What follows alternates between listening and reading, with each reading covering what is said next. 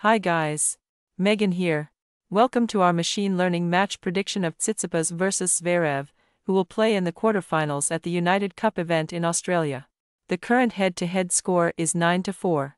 Tsitsipas comes into this match with a ranking of 6, while Zverev is ranked 7. Of their last 10 matches played, Tsitsipas has won 6, while Zverev has won 7. The MatchStat.com prediction algorithm uses about 190 variables. One very important stat for this match is on hard in recent matches. Tsitsipas has won 55% of his own second serve points and 34% of return points, versus an average opponent rank of 112, while Zverev has won 49% of his own second serve points and 37% of return points, against an average opponent rank of 87. To see detailed head to head stats and unlock our full prediction of this match for several markets, head over to MatchStat.com.